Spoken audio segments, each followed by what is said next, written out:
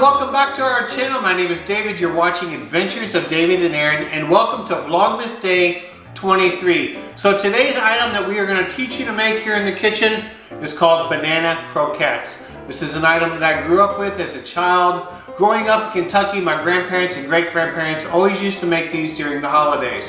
So for this recipe, you will need some bananas, peanuts, mayonnaise, a couple plants, a bowl, a food processor, or you can use a regular hand chopper for chopping up the peanuts and you will need some utensils, a spoon, knife, and a fork. So the first thing you're going to do is you're going to place some peanuts into a food processor or into a handheld chopper. Then you're going to chop your peanuts.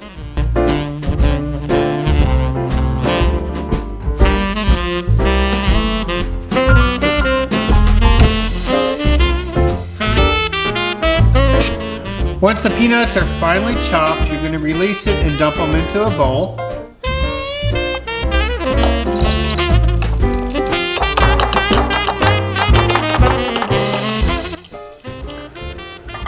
Then you're going to take your banana and peel it. A little tip that I will share with you, if you peel the banana from the bottom, you won't have the strings of the banana.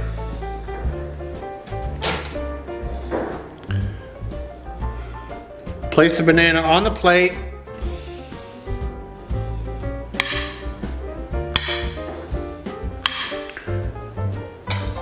Then cut the banana into four pieces. Next, you're going to take your mayonnaise with a fork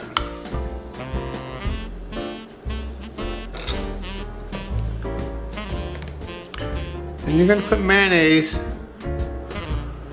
all over the banana. Then you're gonna take your peanuts, you're gonna place the banana in the nuts, and I use a spoon to cover the,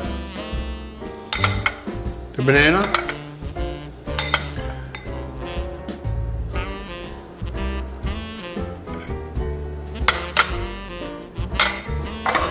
Then you're gonna place it on a plate. And then you're gonna repeat the process until you have your plate filled up.